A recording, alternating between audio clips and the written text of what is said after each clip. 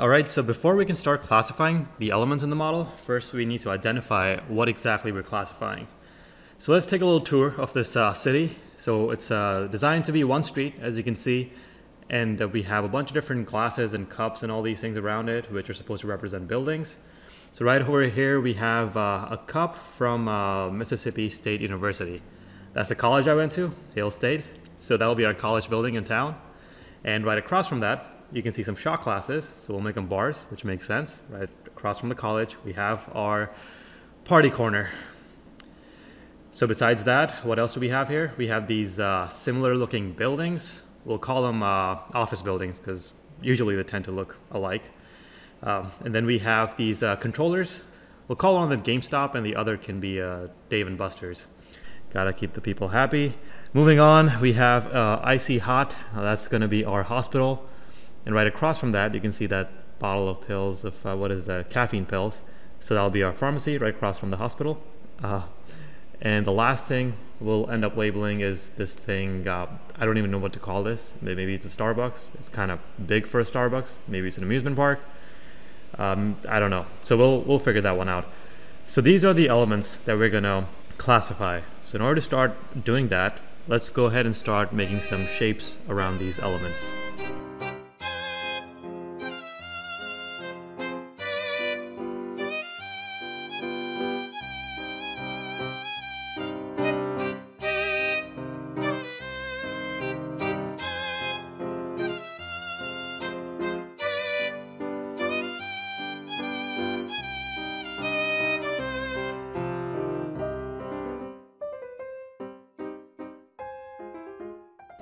Right, so once we have the basic shapes, the next thing we need to do is extrude these solids so we can cover the entire element within a solid.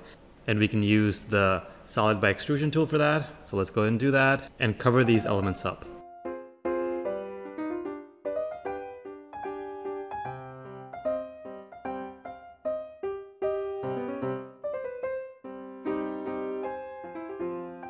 Okay, so now we're almost there with the classifiers. The last thing we need to do is move these classifiers up, like maybe a couple centimeters just to get them off the table, because there's a part of the table that touches the classifier as well, and we don't want that to be included in the final element uh, geometry.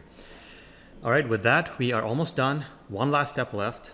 All we need to do is add some properties, some business value to these objects. So we identified them previously with some labels. In order to do that, what we do is we attach these items to the different elements. And the way we can do that is uh, we have to define a class of how what sort of properties we're adding. So in this case, we're just going to come up with a very basic schema. Let's call it table city. It's got one type of class in there, the building, and then the building has a couple properties. Uh, let's give building type and building name.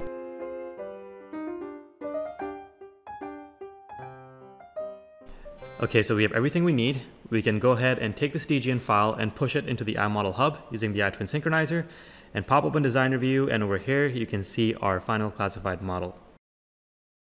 So let's see if we can click on some elements. So let's click on these office buildings and over here you can see the properties. You can see the building type, building name, office. Let's check out our GameStop. You can see the properties change when I switch the element.